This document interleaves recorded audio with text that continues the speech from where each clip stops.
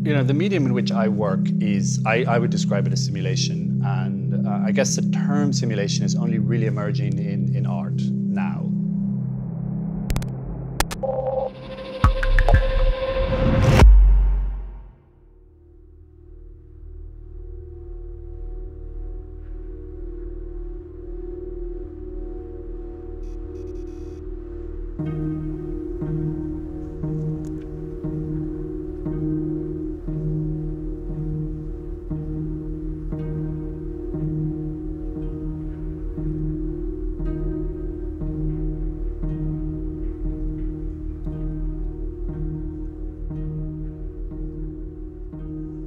Because I was kind of interested in the subject of, of electricity, and particularly the relationship between electricity and, I suppose, uh, the preservation of life, you know, through sort of medical endeavor.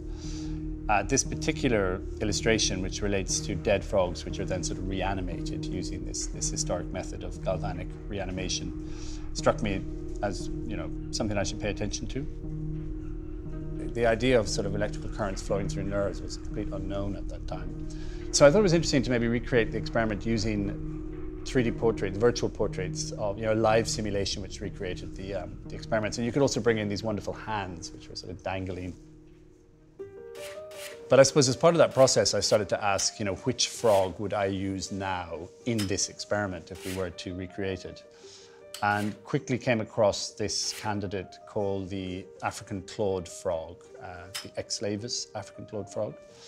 And the African clawed frog, one of the kind of fourth or fifth uh, headings on its Wikipedia entry was that it was the very first vertebrate to reproduce in zero gravity in outer space. And so this frog is brought to outer space where it successfully produces a live offspring.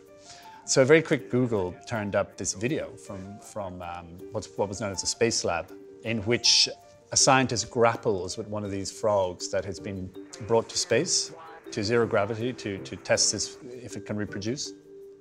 The frog actually kicks free and tumbles in, in zero gravity, and the, the, the scientist struggles to regain control. What fascinated me about that footage was that you've got this funny intersection with the scientist between caring for the frog, in a sense, because it's an experiment, it's, it's a valuable part of this experiment but also kind of an aggression in a way, because it's trying to trap it again and control it. It points to this much longer history of intersections and interactions between animals and humans. So, you know, you've got an etching here from 1792, uh, which communicated something uh, to me. And you've got a kind of piece of YouTube video from 1992, which also communicated something to me. And I suppose in the end, the work mashes these things together into one artwork.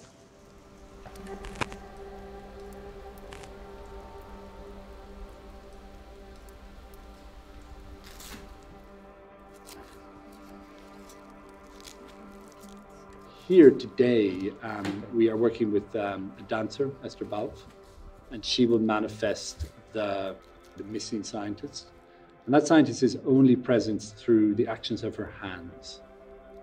So she will manifest these actions and we will motion capture it using this studio. I would think of this as a, a site of three dimensional cinema here in that any action that occurs here, as long as it's properly spotted, will be recorded both in time and in space, and also not as image, but as fundamentally as information. So, you know, if I move my hand like this, it becomes a stream of data from a series of points about where it is in time and in space. Number four and number five. So that's fine, just a little bit further apart. Okay, that's fine. Shoot. Exposition is two in five, four, three, two, one. And shot.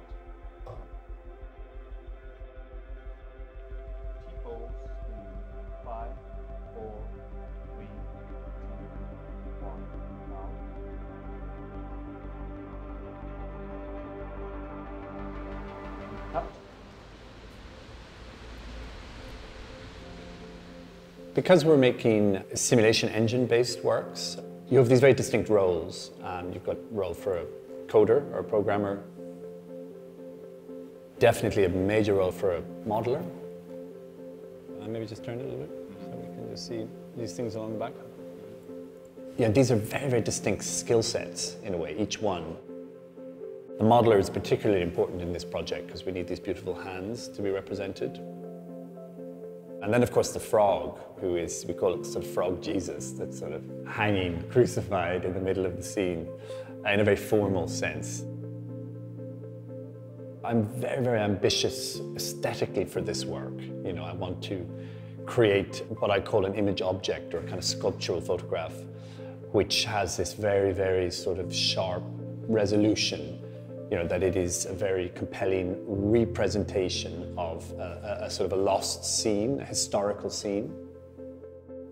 The final piece, the Ex artwork, hovers between life and death in that you've got a frog suspended outside of the sort of vessel of life, which is Earth, and yet is kind of full of life, you know, occasionally manifesting these kind of galvanic reanimations, these kicks and these quite sterile, sort of scientific kind of hands both kind of frame the frog. They sort of protect it and, and, and present it, and also sort of threaten it. You know, that kind of interplay between the human world and the natural world, which is often entirely self serving.